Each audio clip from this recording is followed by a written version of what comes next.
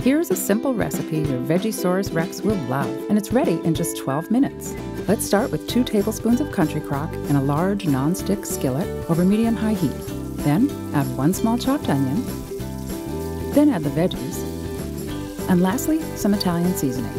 Stir occasionally and cook until slightly tender for about 8 minutes. And to top it off, 1 tablespoon of country crock and a little salt and pepper if you desire. Then serve to your family. Your little dino will love it.